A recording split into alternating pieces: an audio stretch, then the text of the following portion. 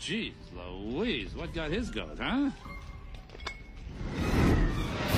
Boom. Name is Hades, Lord of the Dead. Hi, how you doing? Uh, not now, okay? Hey, hey, hey, I only need a few seconds, and I'm a fast talker, all right? See, I've got this major deal in the works, a real estate venture, if you will. And Herc, your little W, may I call you Herc? You seem to be constantly getting in the way of. You've got okay? the wrong guy. Hear me out, you little. Just hear me out, okay? So I would be eternally grateful if you would just take a day off from this hero business of yours. Jeez, I mean, monsters, natural disasters, they can wait a day, okay? You're out of your mind. Not so fast, because you see, I do have a little leverage you might want to know about. Meg! Don't listen. Let her go! Here's the trade-off. You give up your strength for about 24 hours. Okay, say the next 24 hours. And Meg here is free as a bird and safe from harm. We dance, we kiss, we schmooze, we carry on, we go home happy. What do you say? Come on.